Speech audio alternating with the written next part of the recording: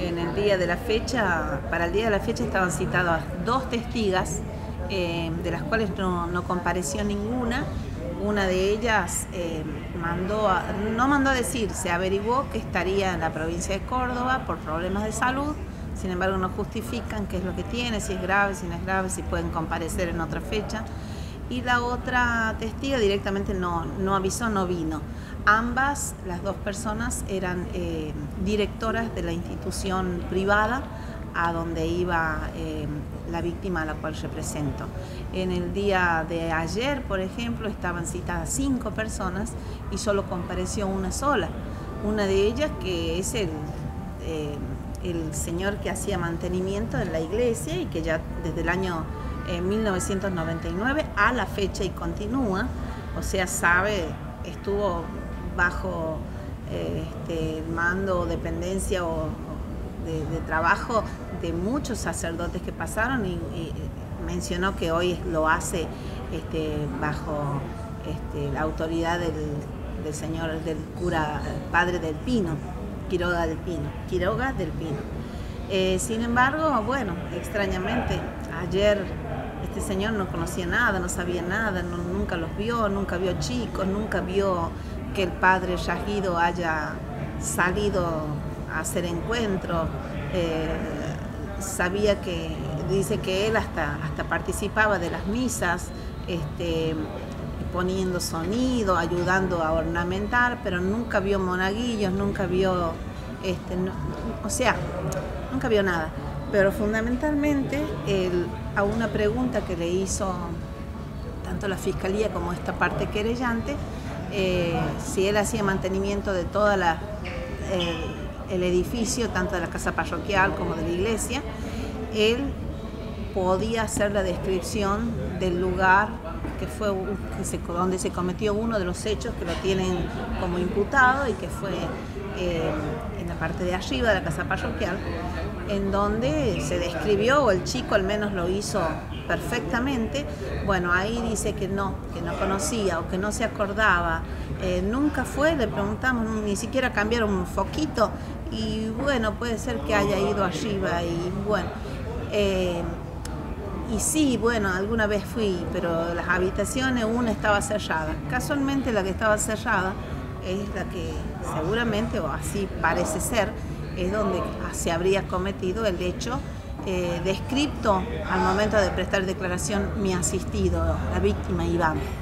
Eh, siempre se habló de que este, todos dicen, o dice él, o todos los testigos que le son favorables al sacerdote, que no había llaves, o sea, era raro que una casa parroquial, la iglesia, donde hay tantas puertas, no tengan llave, una sola llave.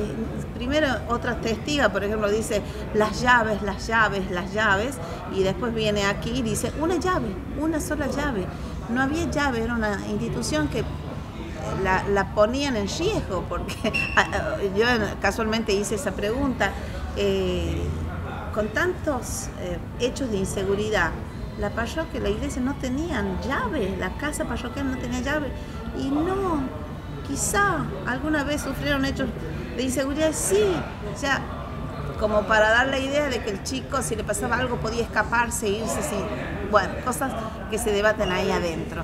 Em, sin embargo, también vamos, voy a rescatar eh, el testimonio de las docentes, de la docente y de la hija de la docente, eh, que fue maestra primaria de este, de este chico, de Iván, y también en la secundaria fue maestra de, de los CAJ, de los Centros de Actividades Juveniles, que es quien puede, ha contado en detalles eh, los hechos que le contó Iván que le habían acontecido. recordemos que después que tuvo el grave intento de suicidio y que por el que tuvo más de tres días en coma internalizado, eh, él pudo abrirse y contarle. ¿A quién le contó todo? A su maestra. Esa maestra declaró hace dos días eh, y bueno, se pudo sacar muchísima información enriquecedora, creo que era más importante que tenemos hasta el momento, ya que entre los demás testigos pareciera haber un, terrible pacto de silencio. Doctora, dos consultas. Primero, eh, ¿cómo se actuó con los testigos que no se presentan? Y segundo, ante la gran cantidad de testigos que hay que faltan los que se van presentando, cómo van a proceder. con esto?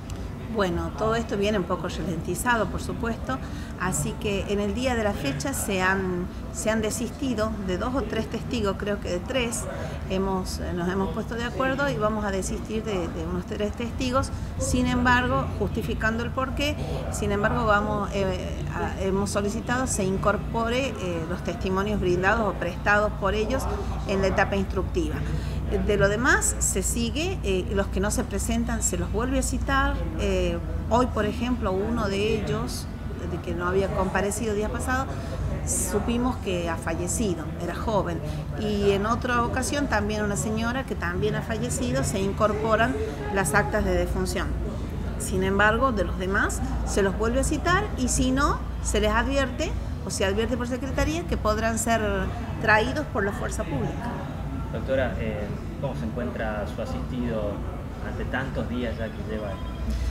Gracias por la pregunta porque eh, voy a aprovechar esta pregunta para decirles que él ha dejado de asistir. Eh, después de su declaración no pudo venir al otro día y vino, que fue un miércoles me parece, el jueves no pudo venir, vino el viernes.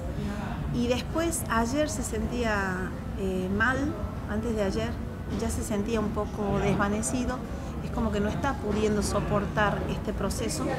Y bueno, entre los facultativos médicos que lo asistieron, porque está somatizando todo, y los psicólogos, se ha decidido que no asista. Eh, entonces él se volvió a la ciudad, ayer en la tarde volvió a la ciudad de Andalgalá, necesita del afecto de su señora, de su hijita, de su, de su, de su padre, su mamá está en Buenos Aires, como todos saben, eh, pero estaba bastante, bastante eh, caído por, porque es revivir, es un revivir constante. No olvidemos que, lo tenía que ver al sacerdote adentro, le dijimos, esto se lo dijimos eh, antes, que no era fácil, eh, pero son muchísimas audiencias, así que es posible que venga los últimos días ya, que no sabemos cuándo será, porque se está postergando mucho, ya van 13 audiencias, entonces calculamos que habrá de haber otras 13 mínimo, así que se va a fortalecer un poco para poder asistir los últimos días y más que nada el día de los alegatos.